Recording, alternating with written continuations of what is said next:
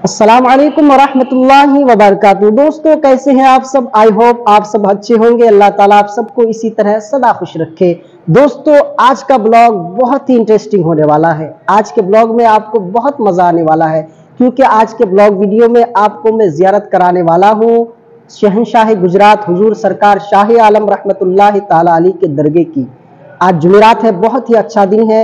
आज फजर की नमाज़ जैसे मैंने पढ़ाई तो मैंने सोचा कि आज हुजूर सरकार शाह आलम के दरगे पे हाजिरी दूँगा।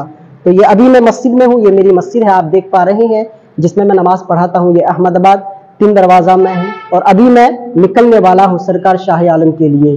तो अभी मैं जाऊँगा, चाय पीऊँगा, चाय पीने के बाद दरगे के लिए निकलूँगा। तो दोस्तों, आप इसी तरह चैनल से जुड़े रहें और हर एक वीडियो को शुरू से आखिर तक ज़रूर देखें। तो दोस्तों, चलिए आज का ब्लॉग हम शुरू करते वीडियो पर बने रहे तो दोस्तों फाइनली मैं सरकार शाही आलम रहमतुल्लाह ताली के दरगाह शरीफ में हाजिर हो चुका हूँ, ये देख पा रहे हैं।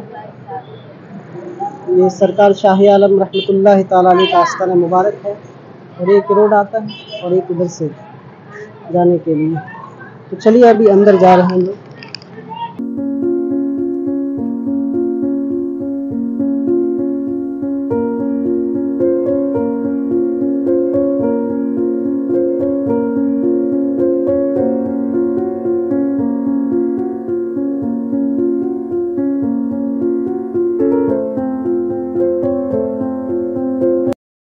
तो दोस्तों, ये सरकार शाह आलम रहमतुल्लाह ताला अली का आस्थाना मुबारक है, देख पा रहे हैं आप। और इस तरफ़ जो ये शाही मस्जिद है, सरकार शाह आलम के आस्थाने से अटैच ये शाही मस्जिद है, बहुत ही पुरानी मस्जिद है और इसके अंदर दो तख्त है उसको भी दिखाऊँगा, आपको उसकी भी ज़्यारत कराऊँगा। ये देखिए, ये आस्थाना मुबारक सामने है, आलीशान है, बहुत ही अच्छा मौसम है, देख के मुझको बहुत ही अच्छा लगा। निगाह बली में वो तासीर देखी, बदलती हज़ारों की तकदीर देखी। ये देखिए, यही सरकार शाह आलम है, जिसके दर से पूरे गुजरात पल रहे हैं।